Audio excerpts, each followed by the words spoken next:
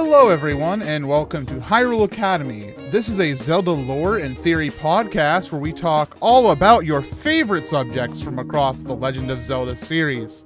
Starting off today's show, you heard Faron Woods from The Legend of Zelda Skyward Sword. That's right off the main soundtrack, so I hope you all enjoyed that. Today, we're going to be talking about a subject that's pretty amazing, pretty fun, and exciting, and I hope that all of you at home are ready to theorize along with me. Today, we'll be talking all about the Forest Temple, uh, and specifically, we're talking about the Forest Temple from kind of all games. Now, I know that some of you might not know this, but the Forest Temple is in more games than The Legend of Zelda Ocarina of Time. It can also be found in Twilight Princess, Spirit Tracks, and Triforce Heroes. However, most notably, in Ocarina of Time, it seems to be haunted in some way, because it contains four Poes Amy, Beth, Joelle, and Meg. There are these twisty corridors, and the boss is a phantom version of Ganon called, well, Phantom Ganon.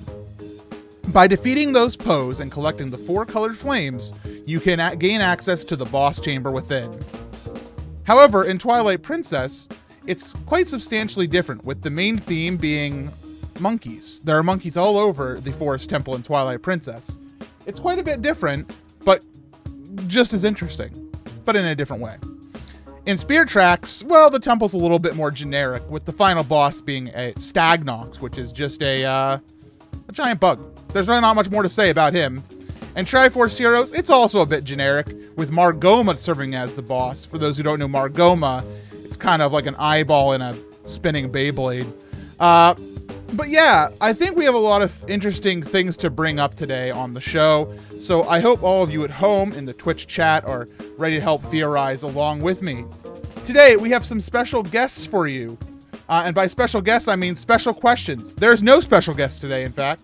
Uh, today's questions, my friends, are Was the Ocarina of Time Forest Temple always haunted? And if not, how did it become haunted? What purpose could the Forest Temple serve before being infiltrated by Ganon? And lastly, is the Forest Temple in Ocarina of Time also the same Forest Temple we see in other games? That's for all of you to decide at home, but for now, enjoy some music. We'll be back with more Hyrule Academy.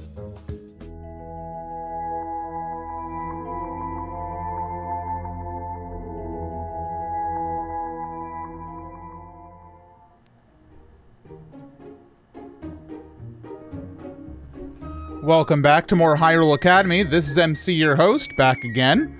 Hope you're all been doing well. I see there's lots of theorizing going on in the chat, and I'm taking good note of all of your discussions, so keep them coming, and you'll be hearing them later on in the show. The last song you just heard was Forest Wraiths by Emun- Emunator, E M U N A T O R. That song is uh, from uh, OC Remix, in case you want to download it yourself. Couldn't resist a good old fashioned Forest Temple remix on our Forest Temple episode. In fact, I have another one coming up a little bit later on in the show. It's now time, my friends, for your pop quiz.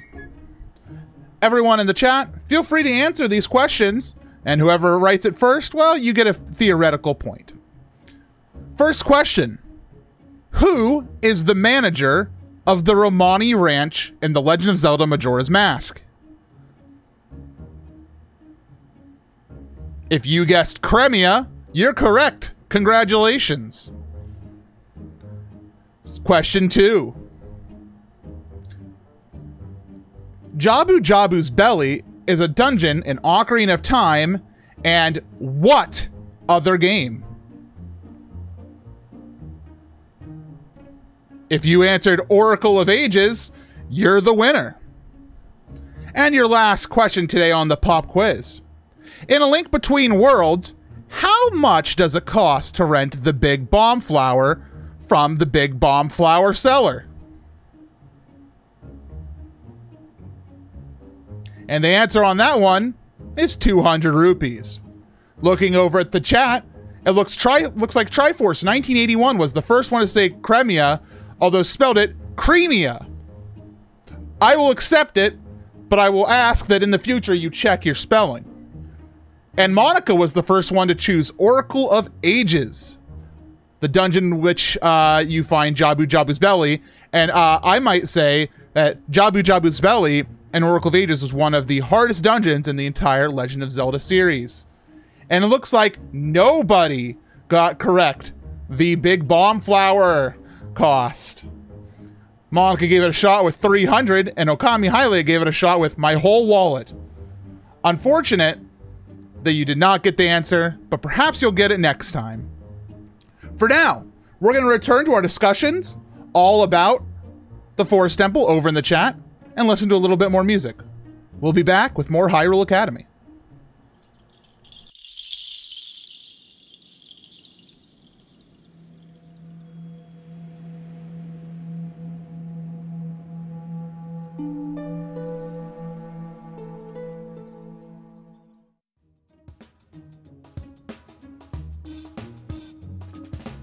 Welcome back, everybody, to more Hyrule Academy. That last song you just heard was Memories of the Forest by Wayne Strange, and that is on the Hero of Time album, which contains all sorts of wonderful orchestral arrangements of your favorite Ocarina of Time songs. I couldn't resist putting that one in there because not only did it have a lot of Lost Woods in it, it also contained the Forest Temple. So I couldn't resist. Everyone, it's now time for your favorite part of the show where I read out some of your discussions at home and see what you've been saying in the chat.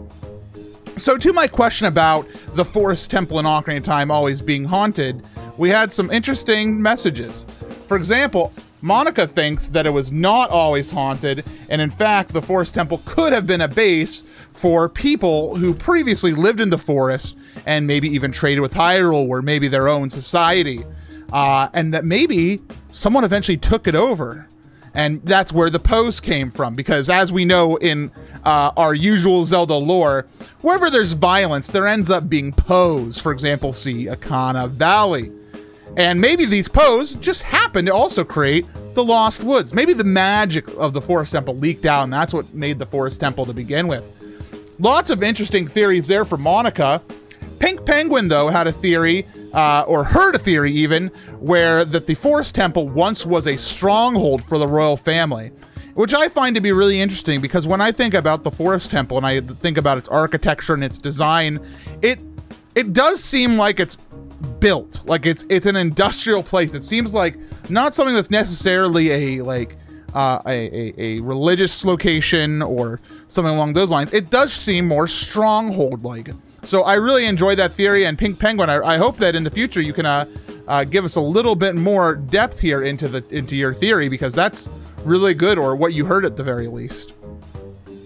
Also, when I asked about the Forest Temple being the same as others, uh, we had some interesting responses. Of course, Tylanos reminded us that the Triforce Heroes uh, Forest Temple is found in Hytopia, and the uh, the Forest Temple and Spirit Tracks will be found in New Hyrule. So it's very unlikely that these would be found at the Hyrule that we know.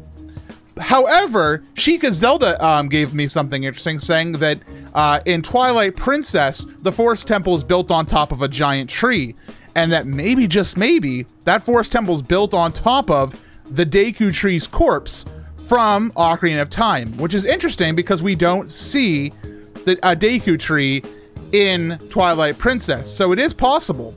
Uh, and it's actually a, a, pretty cool theory. It would mean that they are not the same forest temple. And, you know, when you look at the actual structure of the temples, they, they don't seem very similar uh, in terms of actual construction. But as we know, Hyrule is a very magical place where things can change and morph in all sorts of different ways that it's kind of hard to understand. Um, so I still think there's a chance that the Twilight Princess and uh, Ocarina of Time temples are the same. It's just received a lot of uh, magical reconstruction, in, in my uh, in my opinion. Uh, also, Monica mentioned some lore that I, I, I was excited to hear about, where uh, the, the, the monkeys serve as forest guardians. Now, and I believe this is something that also exists in real life. Uh, don't quote me on that, but we've seen it also in uh, Majora's Mask with the uh, the, the Deku Kingdom, uh, which I think is really interesting. Uh, bringing up the, the the idea of monkeys being kind of a little bit more symbolic in Twilight Princess. So it's really interesting. Uh, I was really excited to see some of those theories in the chat. I have a few more of my own, but I'm actually going to save them for a few more minutes. And next up, we have one more song. This is Generations from OC Remix.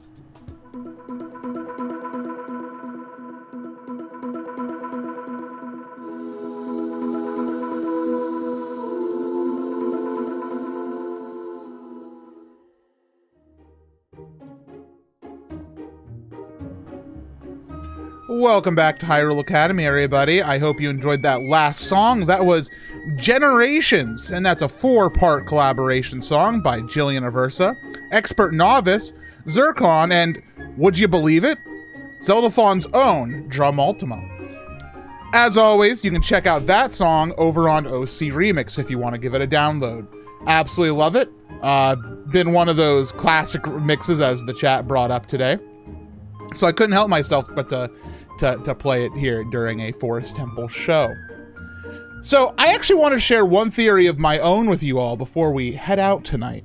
And I, I this theory is kind of a working theory, but I, you know, I was thinking a lot about the four poses that we see in the Forest Temple, uh, Beth, uh, Meg, and the others, um, and how like it's very specific that when you come in there, they close up the entrance to Phantom Ganon. And when I when I think about that, obviously they're a villain, but I, I think about it. You know, these are poses that are named. Uh, a lot of times we do see Poes, you know, in the graveyards and stuff that aren't named, uh, or we see Sharp and uh, Flat, the composer brothers, who have names. And, and it makes me think a little bit about who these uh, Poes might be.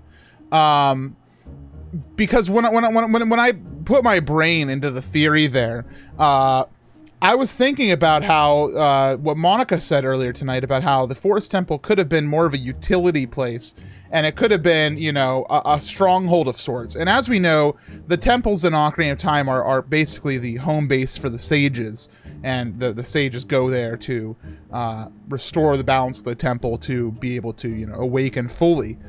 And it makes me think about how um, it's very possible that Perhaps at some point the Forest Temple was overrun by monsters, but because the royal family was not supportive enough of the Forest Temple as a stronghold, it fell.